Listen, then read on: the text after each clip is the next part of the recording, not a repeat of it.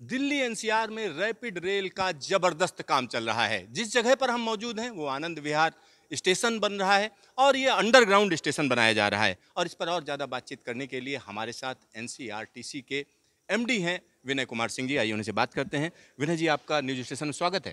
Thank you sir अगर इस जगह की हम बात करें हम सतह से नीचे खड़े हुए हैं और ऐसी व्यस्त जगह पे खड़े हुए हैं कोई यहाँ आसपास देखे तो उसको अंदाज़ा ही नहीं होगा कि ऊपर क्या चल रहा है। क्या कहेंगे? किस तरीके की चुनौतियाँ हैं?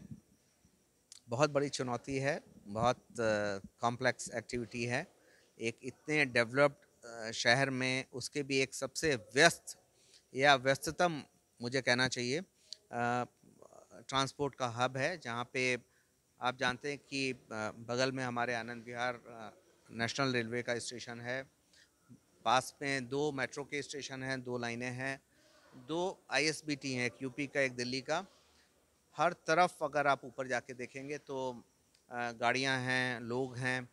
बहुत ही मुश्किल है, बहुत ही कंजेस्टेड एरिया है।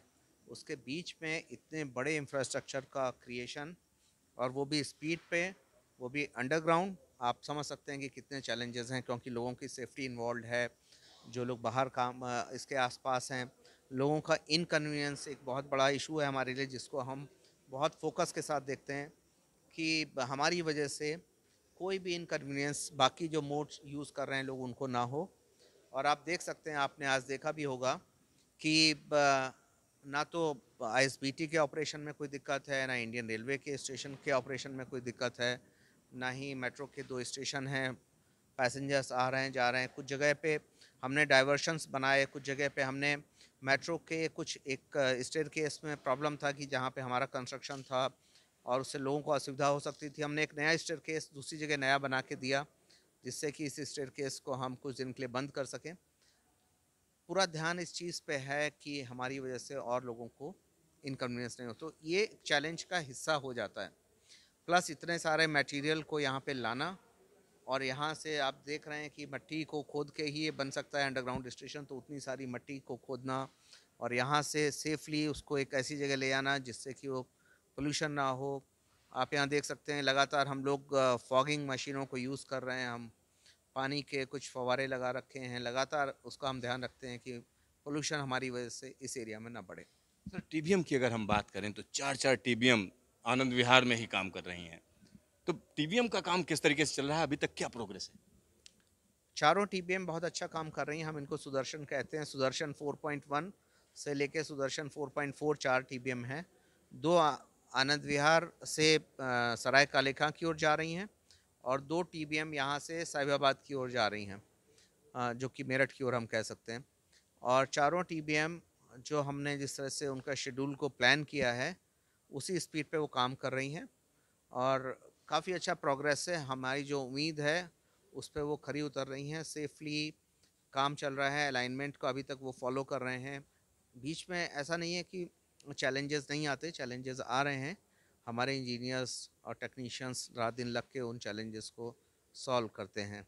यहाँ पे टीबीएम के लिए चैलेंज में अगर मैं आपको बताऊँ तो हम लोग बहुत सारे ब्रिजेस के पास से जा रहे हैं। हम लोग बहुत सारे बिल्डिंग्स के नीचे से जा रहे हैं।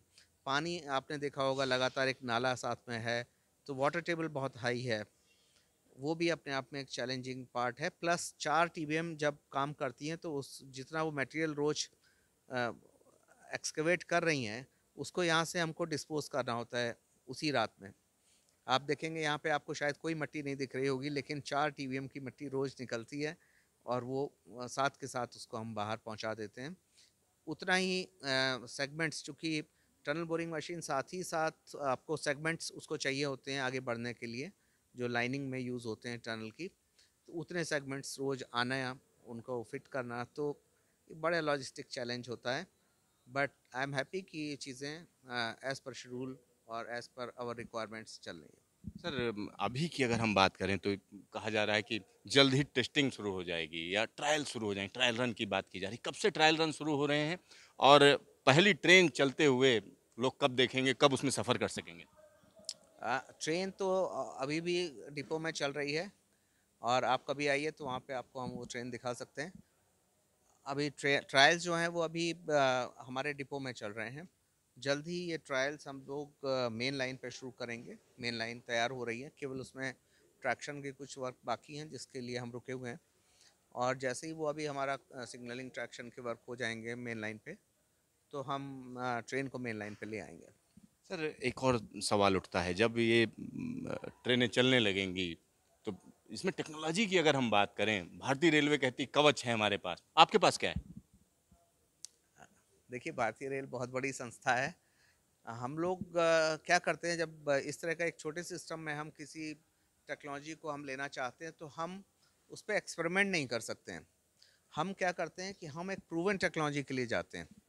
हम जब भी इस तरह का चूँकि ये भारतीय रेल के मुकाबले बहुत ही छोटा सिस्टम है तो यहाँ पे हम एक ऐसी टेक्नोलॉजी के लिए गए हैं जो कि पिछले कई डिकेट्स से प्रूवन टेक्नोलॉजी है, हाई स्पीड के लिए प्रूवन टेक्नोलॉजी है, और वो हमारे ऑब्जेक्टिव को पूरा करती है। हमारा ऑब्जेक्टिव क्या है कि हर पाँच से दस किलोमीटर के बीच में स्टेशन है, ट्रेन हमें हाई स्पीड पर चाहिए जिससे कि एवरेज स्पीड एक कम्यूटर को हाई मिल सके क्योंकि दिल्ली और एनसीआर आप जानते हैं कि पूरा डेंसली पॉपुलेटेड है। जगह जगह स्टेशन चाहिए, लोग मूव करना चाहते हैं हाई स्पीड पे। तो ये जो टेक्नोलॉजी हम लोग यूज़ कर रहे हैं, जिसको हम यूरोपियन ट्रेन कंट्रोल सिस्टम कहते हैं, ये प्रूवन सिस्टम है। ये यूरोप के बहुत सारे देश, उनके बीच में इंटरऑपरेबिलिटी एक रिक्वायरमेंट होती है। हमने इस सिस्टम को इसलिए चूज़ किया है कि कल को जब इन कॉरिडोर्स को आगे बढ़ाना होगा एक्सटेंशन करना होगा, या एक कॉरिडोर से दूसरे कॉरिडोर में ट्रेन को जाना होगा तो इंटरऑपरेबिलिटी एक इशू ना बने डिफरेंट सिस्टम्स के बीच में। कोई वेंडर स्पेसिफिक सिस्टम के लिए हम नहीं जाना चाहते। इसलिए हम E T C S level two के लिए गए हैं। वो एक ओपन सिस्टम है और वो इस तरह की स्पीड के लिए प्रूवन है।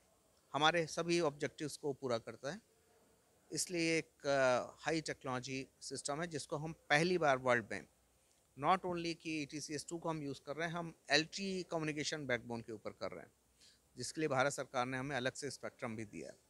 सर एक और सवाल उठता है जब ट्रेन चलेगी तो ट्रेन को चलाएगा कौन? क्या प्राइवेट ऑपरेटर्स आएँगे? किस तरीके से ऑपरेटिंग होगी हाँ तो ये जो इस तरह के सिस्टम हैं रेलवे सिस्टम्स हैं इसमें भारत सरकार की एक ये बड़ी इच्छा है कि इसमें हम लोग उस ट्रेडिशनल मेथड पे ना जाके हम नए ऑपरेटर्स को प्राइवेट ऑपरेटर्स को इस तरह की चीज़ में लाएँ, क्योंकि प्राइवेट ऑपरेटर्स ज़्यादा एफिशिएंट पाए गए हैं as normal public sector system के कंपैरिजन में। और उससे दूसरा एक फ़ायदा ये होता है कि प्राइवेट ऑपरेटर चूँकि जब वो कॉस्ट कटिंग करने की सोचता है तो एफिशिएंट सिस्टम की ओर हो जाता है, क्योंकि परफॉर्मेंस पैरामीटर आपने तय कर दिए अब उनको उस परफॉर्मेंस को अचीव करने के लिए कम कॉस्ट पे वो हाई एफिशिएंसी सिस्टम या नई टेक्नोलॉजी उसको इंडक्ट करते हैं। भारत सरकार की योजना यह है कि हम अगर प्राइवेट ऑपरेटर्स को लाएँ तो इस तरह की टेक्नोलॉजी, इस तरह के हाई एफिशिएंसी सिस्टम्स, उनके मेथड काम करने के, वो हम लोग सीखें। इसी के तहत जो कि मेट्रो पॉलिसी 2017 में लिखा हुआ है ये चीज़, उसके अंतर्गत हम लोग एक प्राइवेट ऑपरेटर को हमने हायर किया है, जो जर्मन रेलवे सिस्टम है डॉशबान। डॉशबान की एक सब्सिडरी है इंडियन सब्सिडरी वो हमारे ऑपरेटर की तरह उनका चयन किया गया और वो लोग अब हमारे साथ काम कर रहे हैं। जब ट्रेन ऑपरेशन होगा तो आप पाएँगे कि जो ट्रेन के ड्राइवर्स हैं स्टेशन का कंट्रोलर्स हैं स्टेशन पे जो ऑपरेटिंग स्टाफ है कमर्शियल स्टाफ है जो पब्लिक से इंटरेक्ट करेगा और जो मेंटेनेंस स्टाफ है चाहे वो ट्रैक मेंटेनेंस हो सिग्नलिंग मेंटेनेंस हो ट्रैक्शन मेंटेनेंस हो वो डॉश बाँध के लोग मेंटेन करेंगे। विनय जी आपका ढेर सारा धन्यवाद। Thank you. यहाँ पर आप समझिए कि अगर हम बात करते हैं रैपिड रेल की तो रैपिड रेल का काम बड़ा रैपिड तरीके से चल रहा है। और आने वाले दिनों की अगर हम बात करेंगे, जिस जगह पर हम खड़े हैं, वो जगह सीधा सीधा कहा जा सकता है रैपिड रेल का हब होगा। यहाँ से ज़बरदस्त तरीके से ट्रेनें चलेंगी। और ख़ास तौर पर अगर हम देखें तो मेरठ और दिल्ली के बीच जो लोग चलेंगे, उनके लिए एक और ज़रिया बन जाएगा रैपिड रेल। कैमरामैन हेमंत के साथ सिद्धार्थ न्यूज़ स्टेशन दिल्ली।